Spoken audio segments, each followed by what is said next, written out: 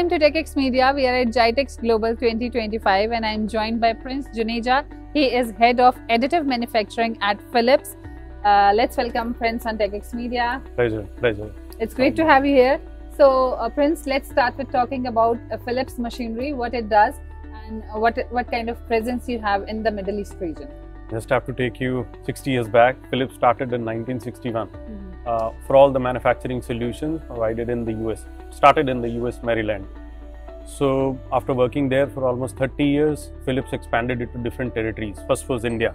So India, we started around 30 years back, uh, and then we expanded it to other regions. Uh, you know, neighborhood of India like Bangladesh, Sri Lanka, and even Malaysia and Middle East. Middle East we started around 2016. At 2016 we sold our first machine. Now I think after eight nine years, we have more than 300 customers, especially in the machinery side. Subtractive plus additive. So I don't know if you know about uh, if you follow Formula One. So there's a uh, there's a team called Haas. So we are one of the largest distributor for Haas CNCs. So yeah, that is how people relate to Phillips these days. But yes, so we have sold more than 300, 400 machines in the region when I talk about Middle East. But the interesting part comes now when we are opening our new tech center, the first tech center in the Middle East in Dubai on 4th of November. That is uh, one of one of the dreams come true for all the Phillips partners, I would say, because this is what we all have been waiting for. After you know having all the at the large customer base we have, we needed a tech center where we can actually showcase the machines. So the push for manufacturing is there in the Middle East. Either you talk about UAE, Saudi Arabia, all these regions. So we are coming up with a tech center, as I told you, in Dubai and then in Dammam, which is almost ready as well. So the push is there.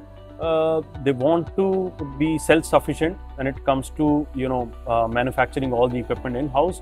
If I talk about 10 years back, they were entirely dependent on imports, but now there is a there is a huge push from the governments as well. So now manufacturing is booming at the moment, and when you talk about Middle East, so I think that's the right decision Philip has taken uh, when it comes to uh, making an investment in a tech center in a city like Dubai.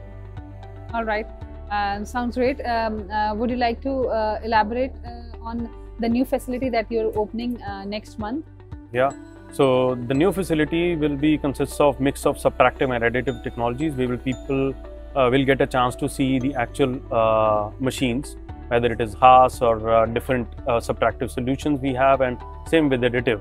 Either it is EOS, Formlabs, or Markforged. All these different brands will be there. So it's it's a mix of subtractive and uh, additive technology.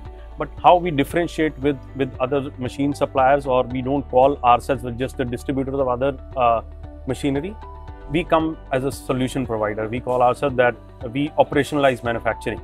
That it's not just a, a trade deal. This is not just a machine selling. It is much much more than that. Where we handhold the customer, where we have the local service support, the service engineers, where we actually you know uh, handhold the customer pretty well. That they don't feel okay.